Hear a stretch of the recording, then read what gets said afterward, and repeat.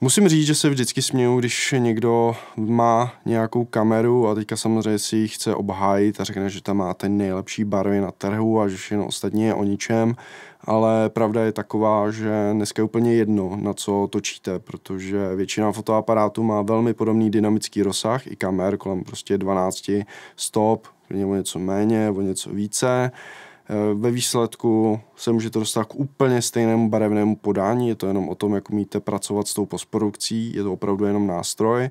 A řekl bych, že to, co opravdu, na čem záleží, je ta workflow pro konkrétní účel používání, jaká je ta komunita kolem té značky, jestli je toxická, nebo jestli ty lidi pomáhají, jestli mají nějaké srazy v tom daném státě třeba, jak ta značka komunikuje s těmi svými fanoušky, jestli jim jako záleží na těch fanoušcích, jestli je poslouchá, nebo jsou velmi konzervativní. Třeba značka, která velmi poslouchá své fanoušky, je Sigma FP, Oni mají vlastní skupinu, vy jim tam můžete psát eh, komentáře, co byste chtěli třeba zlepšit jako uživatelé a oni to reálně pak zavádí jako nový firmware. Naopak, když budete mít třeba jako Sony a budete chtít něco jako žádat, tak většinou nic nedostanete, protože oni vydávají finální produkt a pak už jenom dořeší pár detailů a konec. Panasonic je zase třeba, co se týče toho firmwareu, jako Apple, znamená, oni vydají stroj a pak furt neustále vás zahrnují aktualizacemi, které jsou ve skutečnosti jako dobré a přináší úplně, řekněme, nové možnosti, třeba v rámci toho focení nebo natáčení. No a takhle se dá na tím uvažovat. Budu chtít pracovat s anamorfními objektivy, tak fajn je třeba velmi levně jako Panasonic, má Open Gate mod, umí natáčet ve 4 k 3, můžete pracovat prostě s tím anamorfním režimem přímo v rámci toho fotoaparátu, nepotřebujete ani externí monitor, voilà, super. Eh, pokud chcete mít IBIS, Canon, Panasonic, pokud chcete mít levný interní záznam do RAVu, který zároveň ale nebude mít šílená data, tak samozřejmě je Blackmagic. A Blackmagic je víceméně i výrobce kamer, nebo respektive takový ty poketky 4K, Pocket Česká, Pocket Česká Pro.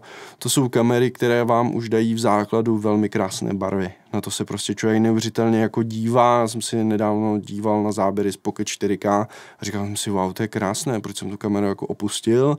Ale ve výsledku, když jsem do toho fakt jako hrábnul a chtěl jsem to srovnat, tak aby to eh, vypadalo třeba věrně, když bych točil jako reklamu a potřeboval, potřeboval bych tam jako ty věrné barvy, a ve výsledku, když do toho obrazu opravdu hrábnete, tak najednou zjistíte, že to není lepší než třeba vlajková loď Sony nebo prostě cokoliv jiného.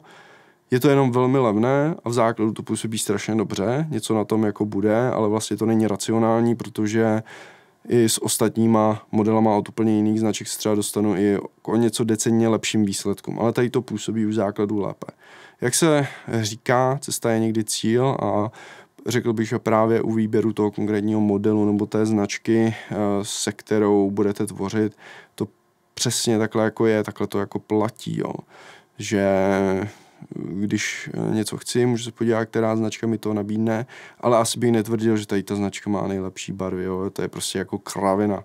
Prostě dneska už ty data, ty možnosti toho, jak se s tím dá pracovat, jsou úplně někde jinde, než to bylo dříve dneska už se ani o těch objektivech, ani o těch setových nedá říct, že by měli špatnou kresbu. Většinou už tu kresbu mají skvělou, jenom jejich nevýhoda těch setových objektivů, že ta clona je prostě vyšší, jo? že to je třeba f5 nebo f4.